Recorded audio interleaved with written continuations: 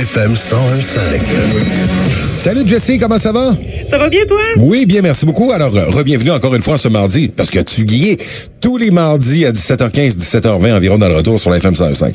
Avec un grand plaisir. Euh, écoute, euh, je suis en train de lire euh, les points que tu m'as envoyés pour qu'on jase aujourd'hui. As-tu regardé pas mal le débat hier? Moi, j'ai regardé la première demi-heure. Je me suis fatigué un peu parce que mon anglais n'est pas tout à fait à point. Fait que ce qui nécessite qu'il faut que je pense en français au travers de l'anglais, là. Oui, ben, suis à peu près au même stade que toi. Je comprends, mais c'est- c'est c'est un grand effort. hein.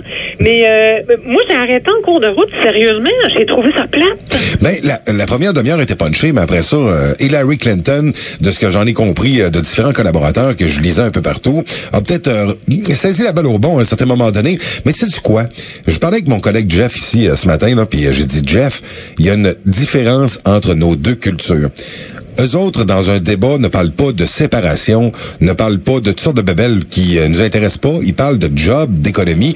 Et c'est là-dessus que Trump est en train de l'emporter. C'est pour ça qu'il rallie pas mal de monde. Et c'est pas juste des débiles. là. Il y a des Oui, gens qui veulent... Il, parle vraiment à son monde là, quand il parle des, des, des, des emplois qui ont été déportés au Mexique puis tout ça. Là. Mhm. Puis euh, moi, je pense qu'il a marqué des points auprès de son électorat avec ça, mais en même temps, moi, d'un point de vue de Canadienne, tu sais, qu'ils veulent mettre l'ALENA aux poubelles, je suis pas certaine que c'est une bonne chose pour nous autres. C'est notre non. principal partenaire commercial. Sauf que là. dans le domaine du bois, il y a quand même une forme de protectionnisme depuis quelques années. On a de la difficulté côté forestier, là. Euh, entre autres le Saguenay, le Lac-Saint-Jean, la Mauricie, la Haute-Mauricie également. Euh, ils souffrent de cette euh, forme de protectionnisme du marché du bois d'œuvre, notamment. Qu'est-ce qui fait que, dans les faits, oui, on perdrait pas mal d'argent, mais déjà, on souffre de ce protectionnisme-là que Trump voudrait imposer encore plus s'il est élu à la présidentielle. là. Oui, j'ai l'impression que son, son côté protectionniste pourrait être très, très, très néfaste pour le Canada. Euh, je pense que oui. Ben, Ouais, c'est sûr ouais, que si ouais. on perd notre principal allié économiquement parlant, euh, du côté économie, euh, ça va peut-être être plus difficile. C'est nos voisins directs, c'est avec eux autres qu'on transige beaucoup de choses, les matières premières notamment. Oui. Oui. Mais tu vois, moi, le, côté qui m'a frappé du débat, c'est même pas le contenu, c'est vraiment le contenant. Oui. Moi, je m'attendais à une guerre sanglante. Ben, Puis, moi aussi. Écoute, je, je vais te faire une confession, là. Moi, là, j'aime pas les matchs de boxe, j'aime pas euh, les combats extrêmes, j'aime pas les matchs de hockey où ce que ça se bat. Moi, là, ma soif de sang, c'est dans les Débat. dans les débats politiques. Ouais. Alors, là, j'ai programmé mon enregistreuse. Je l'ai même enregistré à deux postes pour être sûr de pas manquer ma shot, parce que moi, à 9 h le soir, je suis couché, là. Ben, voyons donc. hein. Oui. Puis, m'attendais, là, vraiment à être rivé à mon siège. Et j'ai trouvé ça plat. Non, il y avait des bouts de boring. T'as raison. En tout cas, la première demi-heure, c'était correct, mais après ça, euh, c'était... Ben, en fait, je vais te le dire, moi, à quoi je m'attendais. Tu Veux-tu le savoir? Vas-y. Je parlais avec Pierre Jobin hier, euh, qui est mon collaborateur dans 16e heure, puis là, il dit, euh, oui, il y a le premier débat ce soir, parce qu'il y en a un autre qui s'en vient, là, en fin de semaine, si je me trompe pas. Et euh, j'ai dit, hey, on va avoir droit à un freak show. J'avais comme l'impression que ça allait être freak totalement Oui. du début à la fin, mais il a changé de conseiller politique dernièrement, ce qui fait qu'il s'est peut-être calmé un peu. Mais je, je suis surpris de la part de Trump qui obéisse à ses conseillers. Ben, moi tout, parce que tu sais que l'établissement, il déteste ça, et c'est pour ça d'ailleurs que les Américains l'aiment. Mais tu sais, l'autre- affaire, c'est que dans le cas de Trump, à un moment donné, c'est peut-être euh, pseudo mis le pied dans la bouche en parlait des impôts, parce que Clinton, je lisais ça dans le journal de, de, de Québec, Oui. lui parle de ses impôts. Ben là, vous euh, payez pas d'impôts depuis X nombre d'années, par exemple. Il dit, c'est parce que je suis intelligent. Oh, c'est que si tu ne contribues pas au trésor américain, ça se peut qu'on te fasse, euh, on te le fasse euh, savoir lorsqu'on va aller aux urnes, parce que tout le monde paye des impôts, là. Écoute, je suis pas, je suis pas d'accord avec toi là-dessus parce que moi, je pense encore une fois qu'il parle à son public, qui en aura le bol de l'établissement et qui en aura le bol de toujours payer trop d'impôts pour euh, engraisser des amis du pouvoir. Non, mais ça, je comprends Alors, ce volet-là, sauf que pour le commun des mortels, tout le monde paye des impôts, là. Oui, tout le monde paye des impôts, là, mais moi, là-dessus, Trump, là, je, je- voyons, euh, je bafouille. C'est pas grave. ça arrive de temps en temps. Ça. Il y a beaucoup de choses, vas-y. Non, c'est ça. Là-dessus, moi, je, rejoins Trump dans le sens que euh, euh, c'est quasiment un signe d'intelligence rendu à un certain niveau de dire euh, on, on, on- on fait abuser de nous autres, donc on cherche les portes de sortie pour, pour s'en sauver. Ouais, ben, moi, là, je suis pas capable de me scandaliser du travail au noir et de certains échappatoires utilisés Non, par les mais- travailleurs autonomes. Je suis pas capable, désolé? Oui, mais t'as raison. Écoute, il y a des dispositions qui sont, sont, sont prévues pour eux autres, il n'y a pas de problème, tu sais.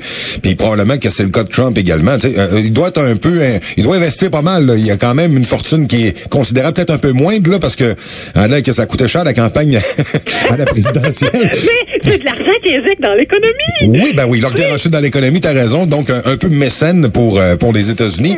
Mais, tu sais, en même temps, euh, ça fait. Euh, je, comprends qu'il est tanné de l'établissement, mais ça fait que je me fous un peu des lois. Tu comprends-tu? C'est le petit bout contradictoire d'un gars qui aspire à devenir président américain. C'est là-dessus, moi, que j'ai peut-être un peu plus de problèmes. Euh, et de, ouais, de problèmes parce qu'il dit aux gens quasiment, mais regarde, organisez-vous pour pas payer d'impôts. Mais je, comprends ton point, Evan. Il est valide ton point, là. Mais en même temps, quand, quand tu es anti-establishment, ça fait partie des choses qui sont, qui sont fâchantes pour le citoyen qui paye trop d'impôts, tout ça. Puis je trouve que je trouve qu'il parle à son public en faisant ça. Puis il y en a une maudite gang qui nous écoute après-midi que s'il a une chance de payer et de pas payer de taxes, euh, tu sais, de payer au noir par en dessous pour sauver une coupe de pièces, parce qu'on sait très bien que de toute façon, regardez ici au Québec, de quelle façon dont on dispose de l'argent du public, des fois tu te dis, je sais que me fait fourrer, je suis assez tanné d'engraisser la machine. De toute façon, là, il y, a eu des études qui ont démontré que euh, le meilleur moyen de combattre le travail au noir, c'est de baisser le niveau de taxation à un taux raisonnable. Ben, euh, c'était quoi la TVA à un moment donné qu'on avait jasé, ça aurait été pas pire. C'est une taxe, euh, la, flat tax, tout le monde paye la même affaire. Euh, comme ça, ben, on se sauve le, le s'il y a des gens qui travaillent au noir, ben oui, c'est pas grave, ils payent ce niveau de taxe-là, ils vont le payer dans le produit de consommation, puis on n'aura pas de problème. Je pense que c'est en Alberta, c'est 12 ou 13% c'est tout ça le, niveau de taxation, c'est pas très élevé, là. Écoute, si c'est 12 ou 13% en Alberta, c'est qu'ils ont augmenté le taux de taxation. Non, mais là, je me souviens plus de cette mémoire, mais je sais que c'était pas très élevé. Mais en fait, c'est que quand tu ramènes le taux de taxation, mais ben, taxation, on parle impôt et taxe à la consommation, là, quand tu ramènes ça à un taux raisonnable, les gens sont moins portés à faire de l'évasion fiscale. Ben, c'est clair, puis on n'encourage pas du tout les gens à la productivité. Si on te demande de faire du temps supplémentaire, tu sais très bien que tu vas changer le braquet d'impôt puis tu vas te faire fourrer. Là. Ben, c'est carrément ça. C'est carrément ça. Alors, euh, c'est pas un débat qui t'a marqué hier. Là. Non, vraiment pas. Il y en a un autre en fin de semaine, par exemple. Peut-être que celui-là sera un peu plus explosif et euh, freak show. Écoute, je, je, vais, programmer l'enregistrement aussi. Je vais l'écouter quand même des fois que j'aurai euh, satisfaction à ma soif de sang. J'aime l'image. hey, Jessie, tu voulais nous parler du livre de M. Léger, Jean-Marc Léger, ah, qui a compilé 35 euh, ans de, en fait, de, de, de, de questionnement et de réponses. Là-dessus, si je ne me trompe pas, je sais qu'on a compilé tout ça, puis ça a sorti dernièrement ou ça a sorti hier, de mémoire. Là. Ah, je pourrais pas te dire la journée, mais sérieusement, là, on a eu un compte rendu euh, quand même euh, assez euh, intéressant de ça. Je trouve ça extraordinaire comme travail. J'en reviens pas mhm. qu'on ait droit à un travail comme ça. C'est un portrait des Québécois qui est vraiment sans complaisance et qui, qui est qui est un petit peu claque sa gueule. Oui, mais en même temps, C'est nous autres. On est des victimes, hein? Faut pas l'oublier dans ce livre-là, c'est euh, qu'on considère euh, les Québécois, suite aux réponses de différents sondages, comme étant des victimes. Écoute, je trouve que ça explique à peu près tout ce qu'on est, à peu près tous nos choix, à peu près tous nos travers de société, c'est expliqué par le portrait qui dresse de nous autres. On est tout en petite boule puis on a peur. On est dans le coin puis on a peur de se faire écœurer. C'est nous autres les victimes. Et pourtant, on aurait tellement de... Et on a tellement de... On pourrait tellement aller plus loin en tant que peuple, en tant que Québécois, Québécoises. On a du talent ici. C'est sûr qu'on est différent dans la langue, mais on, c'est une des choses qui nous fait sentir peut-être victime aux yeux des autres et les dangereux anglais.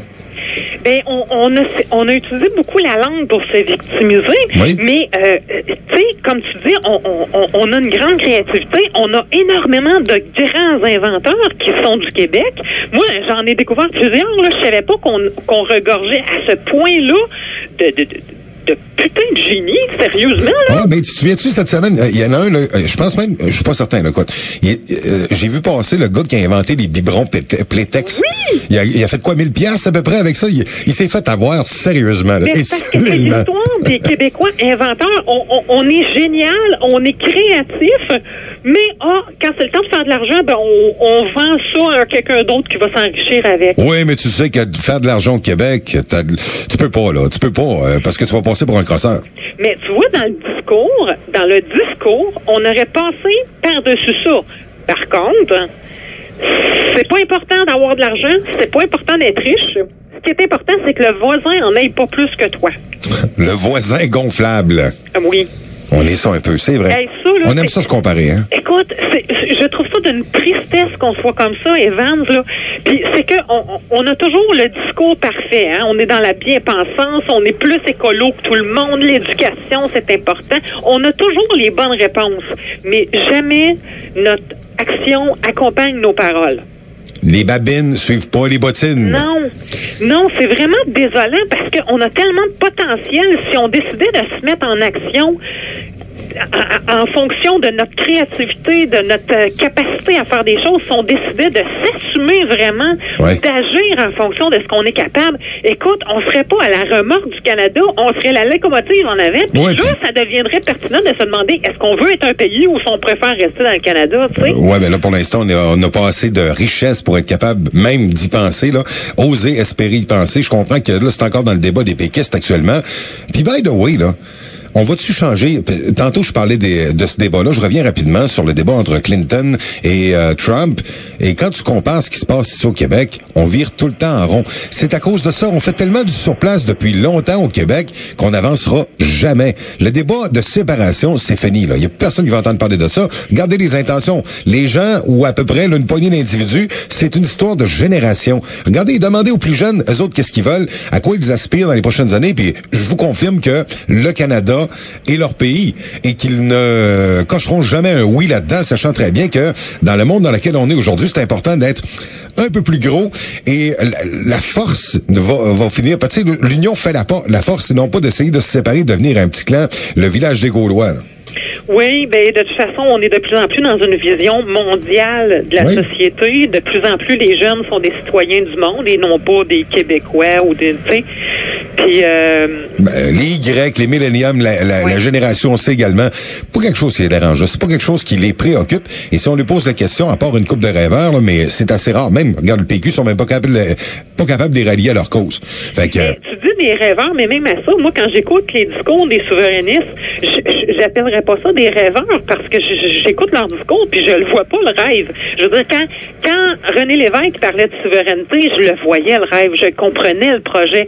Mais les souverainistes d'aujourd'hui, c'est du chiolage, c'est de, de la victimisation, c'est on, on, on est victime du gros méchant Canada, euh, tu sais. hey, euh, euh, y a-t-il autre chose qui t'a retenu, euh, qui a retenu ton attention en terminant dans le livre de M. Léger?